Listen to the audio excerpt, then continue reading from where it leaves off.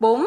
Ông Trần Quế, sinh năm 1937 tại thành phố Huế, tỉnh Thừa Thiên Huế, cư ngụ tại thành phố Arizona, Hoa Kỳ hỏi Kính thưa trưởng ban, tôi tên Trần Quế, năm nay 73 tuổi.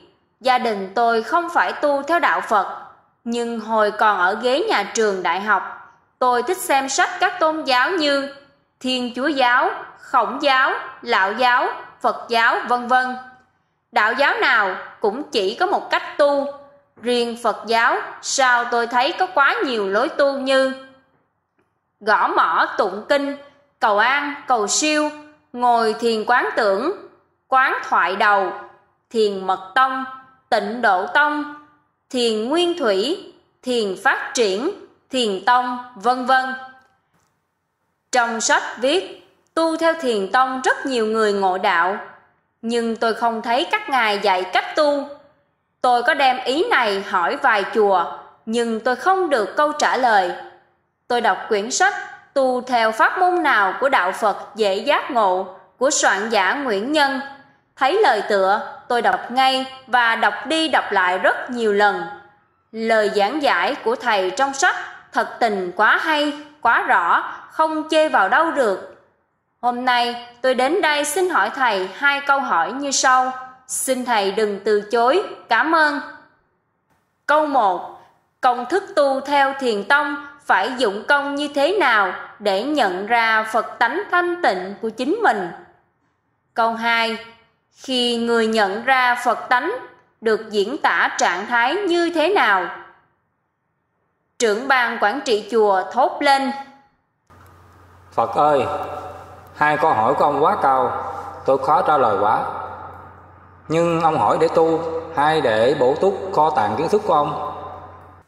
Ông Trần Quế trả lời, tôi hỏi để tu, tôi có thể sống thêm vài năm nữa là cùng, học hỏi thêm kiến thức để làm gì? Khi mình bỏ thân này, có mang kiến thức theo được đâu. Nếu thầy hướng dẫn rành mạch cho tôi hiểu, tôi nhất quyết thực hành đến nơi đến chốn. Tôi nguyện mang ơn thầy mãi mãi. Trưởng ban nói, Có thể nói từ trước đến nay những người đi tìm hiểu đạo Phật không ai có quyết tâm như ông. Người có quyết tâm như vậy chắc chắn sẽ có kết quả tốt. Nhưng tôi nói ra sợ ông không thực hành được. Ông Trần Quế nói, dù khó đến đâu, tôi cũng nhất quyết thực hiện cho bằng được.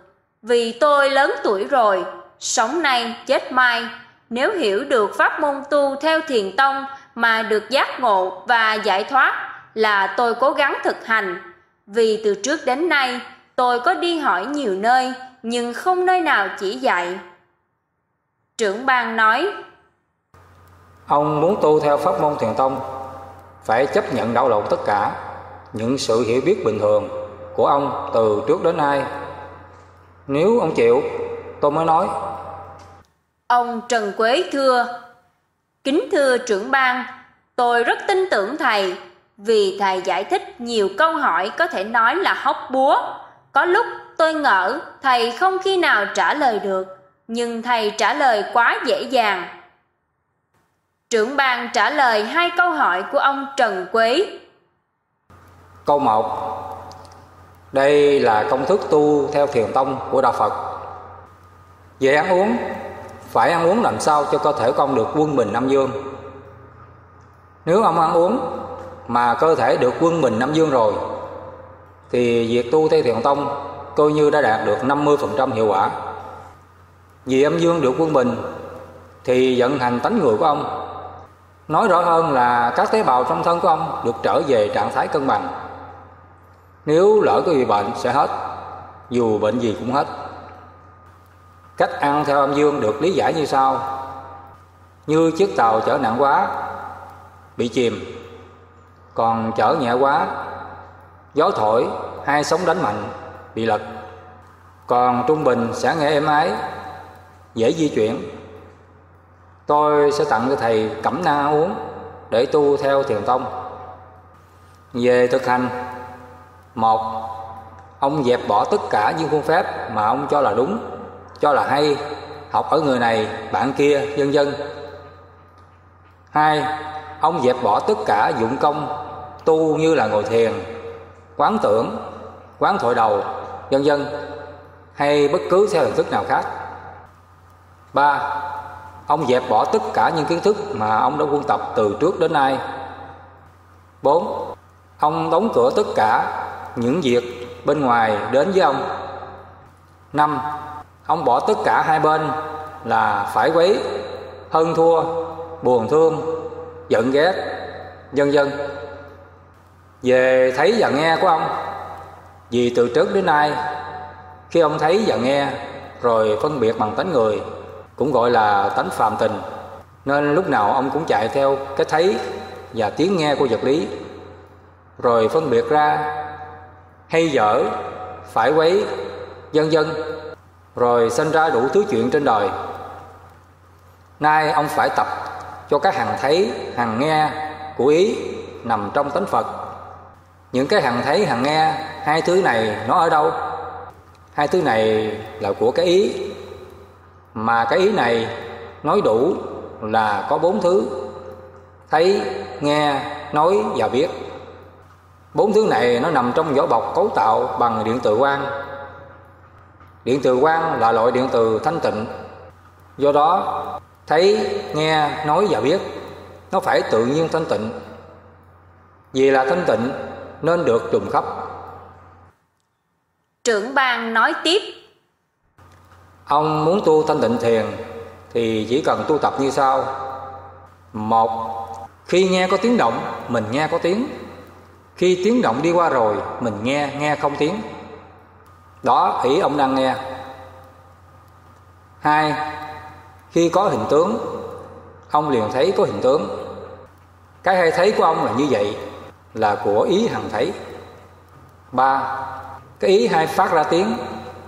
Tiếng này gọi là pháp. Khi ông nói, cứ việc nói, cho người đối diện biết là đủ.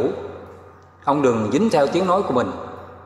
Đó là tiếng nói còn trong thanh tịnh, mà đức phật gọi là tiếng nói trong niết bàn bốn, cái hay biết trong ý nói lúc nào cũng hàng biết.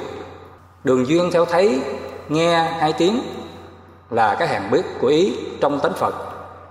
Nếu ông thấy, nghe hay nói mà chạy theo các thứ này, đức phật gọi là chạy theo luân hồi do sức khúc của vật lý âm dương. Tu theo thiền tông, ông phải hiểu bốn căn bản trên thì mới tu đúng được. Còn không hiểu căn bản này dù ông có dụng công tu hành theo kiểu gì một ngàn năm sau cũng không ăn thua gì. Ông trần quế hỏi như vậy phải tu tập như thế nào để đúng với pháp môn thiền tông?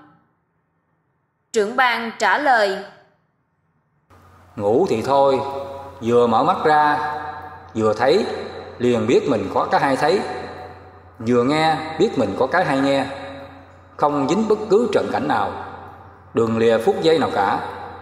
Đó là ông đang tập cho tánh hay thấy và tánh hay nghe của ông. Ông tu tập được như vậy, từ từ trở về tánh thanh tịnh của chính ông đó. Từ ngàn xưa nói là như vậy. Không ai làm ra, không ai tạo thành. Nó vốn là thanh tịnh, nó vốn là trùng khắp nó vốn là đầy đủ. Sự sống của nó là nhờ điện tự quan vì chỗ loài người không biết đó nên ai cũng sử dụng cái tưởng của tánh người. Suy nghĩ rồi tưởng tượng ra sai lệch, nên bị trôi lăn trong sáu nẻo luân hồi không ngày cùng. Khi ông tu theo thiền tông mà thành tựu rồi, ông sẽ nhận ra cái tánh chân thật của mình. Nhờ đó, ông không lầm lẫn nữa. Nếu những điều mà chúng tôi nói ông thực hành được, thì ông không bị luân hồi. Còn hiện tại, ông đang sống với thân tứ đại này các cái thứ trong phật tánh, nó phải nhờ các căn để thấy, nghe, nói. Khi nào ông hết duyên sống nơi thế giới này, thì vỏ bọc của tánh người nhả vỏ bọc tánh phật của ông ra. Nếu trong vỏ bọc tánh phật của ông chứa hoàn toàn công đức, thì cái vỏ bọc tánh phật gọi là như lai tàng tức cái kho chứa hoàn toàn công đức và tánh phật.